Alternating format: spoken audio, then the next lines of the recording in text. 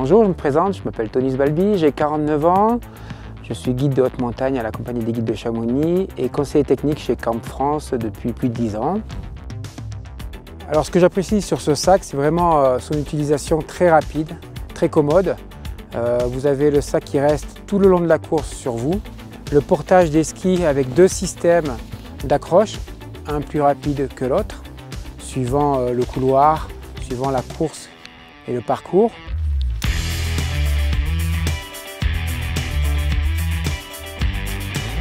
Au niveau de la ceinture ventrale également, on peut déclipper très rapidement euh, le système de sac. Euh, la poche à crampons qui est soit unique, soit en deux parties pour faire un sac beaucoup plus complet. Et aussi euh, à l'intérieur un système pour poser sa poche à eau pour la boisson pendant la course. Autre avantage de ce sac, hein, quand on fait une grosse course comme la pyramide, vraiment partie des, des big races du circuit.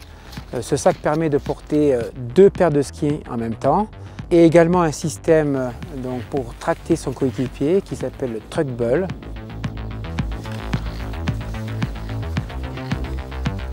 Donc en conclusion, le Rapid Racing remplit vraiment tous les critères que tous les compétiteurs recherchent. La légèreté, 360 grammes, le volume, 20 litres nécessaires pour courir, la fiabilité et la commodité, tous les éléments qui permettent de gagner du temps et d'obtenir une victoire.